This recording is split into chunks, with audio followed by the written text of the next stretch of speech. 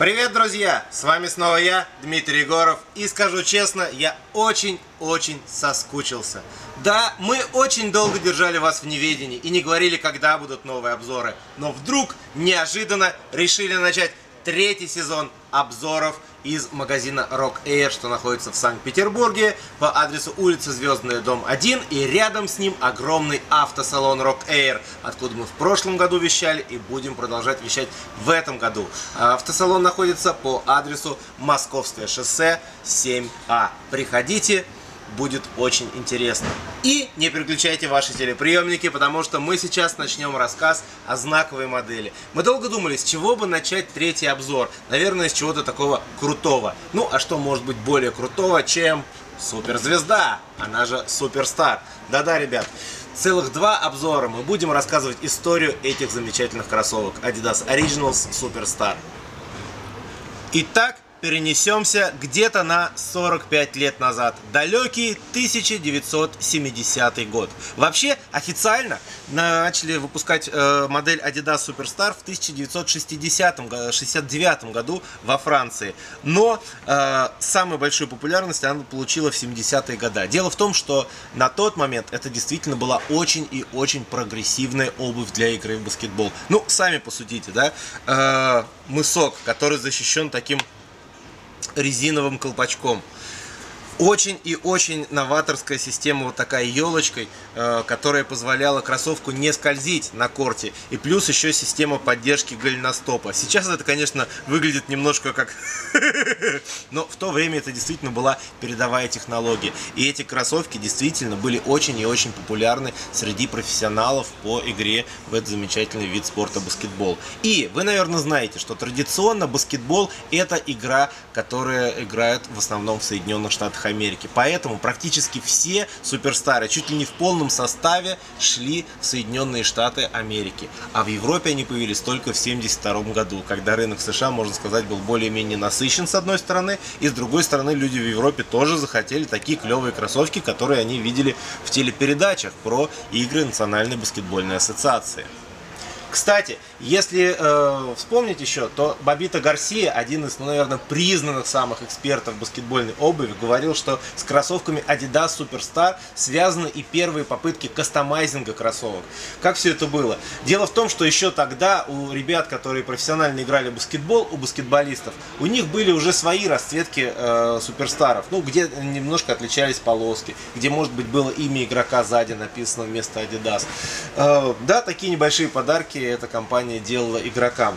И ребята, фанаты баскетбола, естественно, им очень хотелось такие же кроссовки. Поэтому что они в основном делали? Облепляли э, выходы из э, всех баскетбольных площадок. И когда из какого-нибудь там Мэдисон Сквер Гардена выходили баскетбольные команды, эти ребята говорили, что а, дай, дай, дай, дай, дай кроссовки, пожалуйста, нам. Ну, как цыганята все клянчили. Естественно, баскетболисты были ребята щедрые, богатые, почему, поэтому почему бы не дать пару старых кроссовок.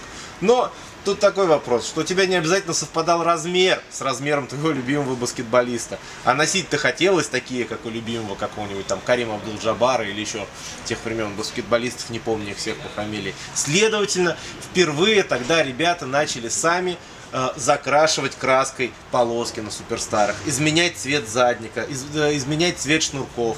То есть говорить, что смотрите, у меня кроссовки практически как у того самого баскетболиста из большого телевизора. Ну и э, так пошел, можно сказать, кастомайзинг. Первые попытки кастомайзинга на руках тоже начались вот с этих самых кроссовок.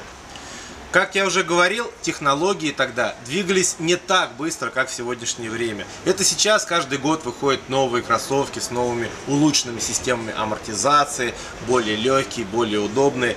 Ну, в 60-е, 70-е годы все двигалось не так быстро. И э, это позволяло кроссовкам достаточно долго находиться на баскетбольном корте.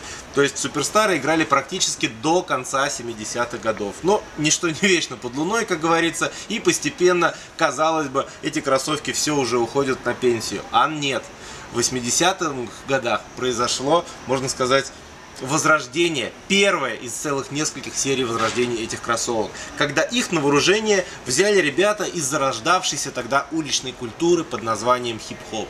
Хип-хоп, друзья, он начался не с рэпа, как многие думают. Рэп пришел чуть попозже. Сначала это были танцы, это было граффити, это были попытки диджеев сводить э, и что-то там э, из двух э, старых э, записей делать что-то новое с помощью скретчей, с помощью там своих диджейских приемов.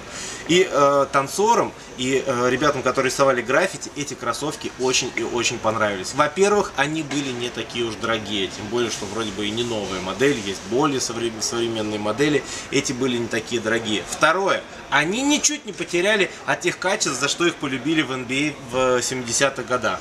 То есть для танцоров это было важно, чтобы кроссовки у тебя были и легкие, чтобы они и не скользили, и в то же время, чтобы они защищали твою ногу. Ну и опять же были долговечными. А эти кроссовки действительно были долговечными. Помним, да, производились во Франции из кожи, из резинового такого носка. То есть это были солидные такие мощные кроссовки.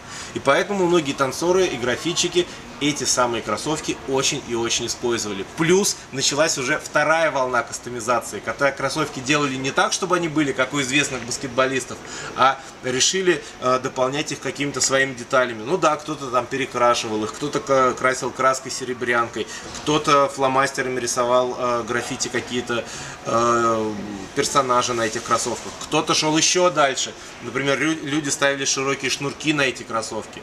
Словом, э, такой вот фантазии, наверное, не было предела. Естественно, это не весь рассказ о кроссовках Adidas Superstar. Я и так старался по максимуму сокращать все то, что касалось 70-х, 80-х годов. И я продолжу рассказ в следующей части, где вы узнаете, почему эти кроссовки начали носить без шнурков, почему их полюбили любители скейтбординга и альтернативной музыки, и что такое Superstar сейчас. Ну что ж, друзья, спасибо огромное за внимание. Надеюсь, вы рады так же, как я, что начался уже третий сезон обзоров. Мы будем продолжать, обзоров будет много, они будут интересными. А от вас мы ждем, как всегда, лайкайте наше видео, расширивайте его, подписывайтесь на нашу группу ВКонтакте. Плюс, ребят, одно очень и очень важное объявление. Многие меня спрашивали, можно ли купить кроссовки из ассортимента Rock Air в интернете. Друзья, очень скоро на этот э, вопрос будет однозначный ответ «да».